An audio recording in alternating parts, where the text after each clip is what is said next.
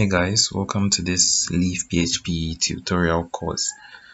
On this video or in the next couple of videos, we'll be building a simple note-taking apps API. So this API will basically allow us to create notes, up, um, read them, update and delete them. So basic CRUD functionality. So something like the Google Keep app. So yeah um whilst building this app we'll be learning about the basics of leaf um so routing working with the database um user authentication so basically users can create accounts and log in and then also validation so input validation form validation. Um well then let's get started. So the first thing you should have on your system is php well i personally use XAMPP You can get it from Apache Friends um, download. So this link. And then the next thing to have is Composer. That's a dependency manager for PHP. So get composer.org and download. Right.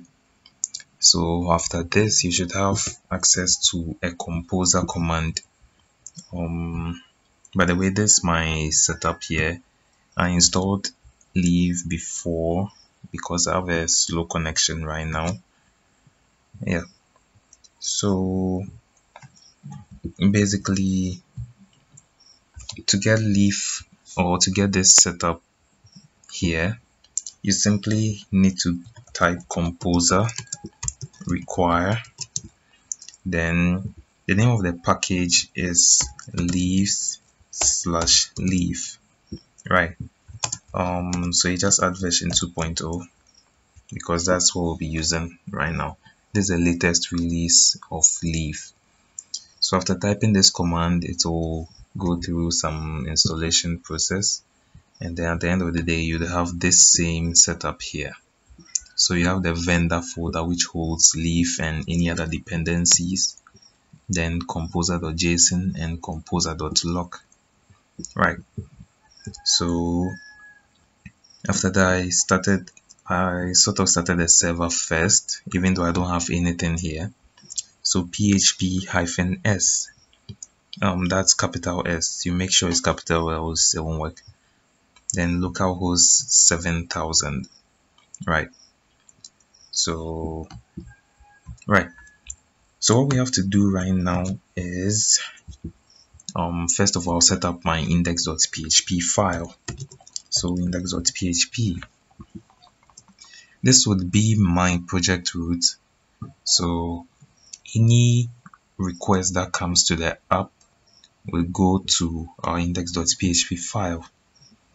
Um, we can achieve this with this settings file. So htaccess it's um, a settings file you can get this um, you can get a copy of the htaccess a simple htaccess file from the leaf documentation.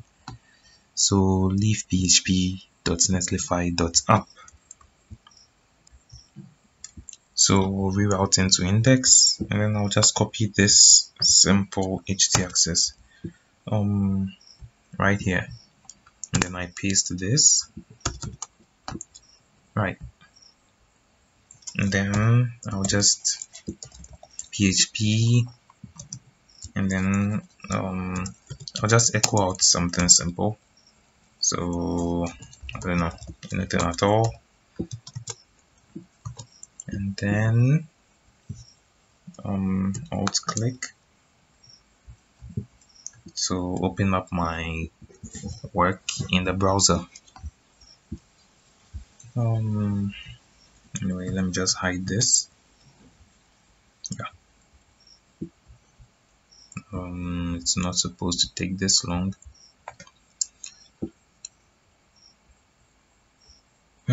All right so everything is working perfectly.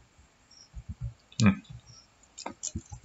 so we have this vendor folder which holds leaf and any other dependencies which come along with it we have our index.php file and our htaccess file which reroutes every request back to our index.php file. So what we need to do now is to import leaf. But first we have to require vendor slash autoload.php. This file simply allows us to use um, composer dependencies without actually having to use the require statement. So um, without this file, we would have to use require maybe leaf.php for a leaf file, require another file, or just um, all in this file. But then with this vendor auto load file, we just initialize our classes and we can use any file we want to. Right so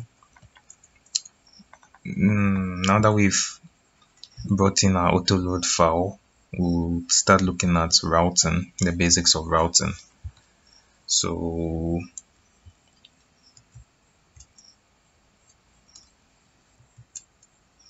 all right. So to use routing we simply have to bring in our leaf file or the main leaf file. So as I said we don't have to use require we just simply initialize the class and that's all there is to it. So I'll say app equals new leaf app right? So this um, initializes our leaf app class inside this variable. So now we can use any and all of um, leaf apps methods on this app variable. So routing right. Any route we want to use um right so let me start here. So different types of routes have different methods. So basically you'd see post requests, get requests, and put, patch, delete. We can use all of those on the leaf object. Um, it's actually really simple with leaf. So all we have to do is app.get for a get request. Um, it takes in here you can see pattern here. That's basically the route we want to go to so we use slash for um, our base route. So this slash route is what we see when we load maybe notesapp.com or something like that. So the second parameter is actually a function or callable callback function whichever you choose to call it. So we'll say function and then echo home route. Yeah. So right now we've got our home route up and running. But then to actually start or to get leaf to actually listen for routes we just have to say app run. So we are basically running this app which we've created. Something like that right so I'll just save that and open it up in the browser. And we are supposed to see what we created home route exactly. So right now we've got our routing working. All right so that's the basics of routing. All right so in the next video, we'll be looking at for handling error uh, 404 and we'll also set up the basic routes which we'll need. Alright, so hope to see you in the next video.